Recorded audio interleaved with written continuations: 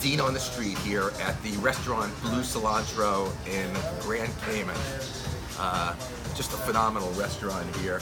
I'm with the chef, executive chef Shetty, and we're having a really super evening here tonight. Hi, Chef Shetty. Hi, how are you? Good. It's to a, see you. It's a pleasure to see you. This phenomenal dish, uh, the jumbo shrimp.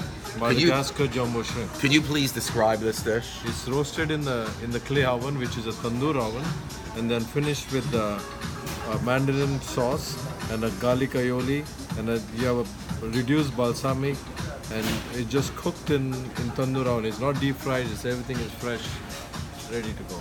Hey, listen, the experience tonight, 10 stars out of a 10. Chef Shetty and his staff, unbelievable.